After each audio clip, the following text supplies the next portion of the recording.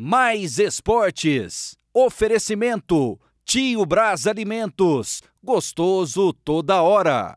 Jogando em casa, o Grêmio Anápolis tomou uma pressão do Itumbiara no primeiro tempo. Tentou buscar os espaços, mas a primeira etapa terminou 0 a 0. No segundo tempo, mais pressão do Itumbiara. E mesmo assim, quem abriu o placar foi o Grêmio Anápolis. Welton, 1 a 0, aos 39 do segundo tempo. E o outro gol foi nos acréscimos. Aos 49, Nick fez o gol da vitória. Terminou Grêmio Anápolis 2 e Tumbiara 0.